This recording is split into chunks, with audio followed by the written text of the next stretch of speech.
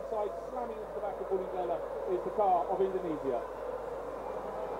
Big disappointment as Adrian Zaugg slowly makes his way around the track. He's going to go into the pits. Damage to the uh, side pods of that car.